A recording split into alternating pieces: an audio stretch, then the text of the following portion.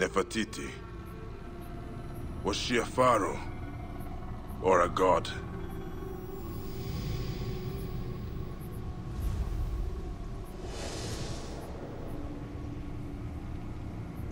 Nefertiti worshipped the Aten, but who holds it now?